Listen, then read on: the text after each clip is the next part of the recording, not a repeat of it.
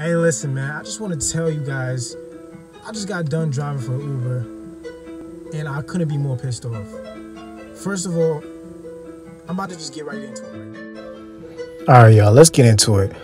Okay, first of all, let's look at these trips for today, right? All right, as you can see, you know I drive in LA, so this is like a, a pretty decent place to drive in. So it shouldn't be no reason to not make a decent amount of money. Now I want you guys to look at this. Look at this trip right here for seven dollars. I drove 20 minutes to make seven dollars. Uber, are you on crack? Bro, it's not just this. They're trying to take money away from the drivers. Now, since I'm doing this full time, I'm relying on this for. You should not just be blatantly ripping off your drivers. That's how you're to just be like out of business. Like nobody's to want to drive for you.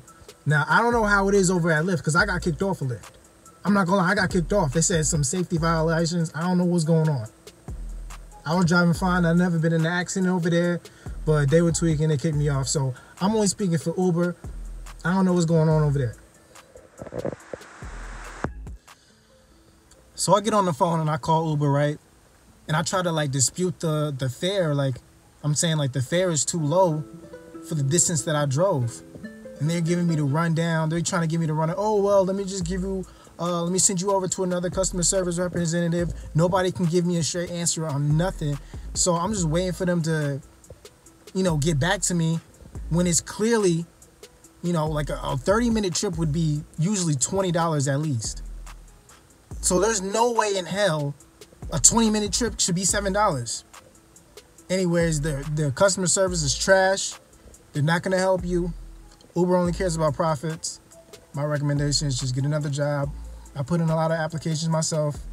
I'm gonna try to get back into property management. But that was just my rant for today. If you enjoyed, please leave a comment down below, like, and subscribe.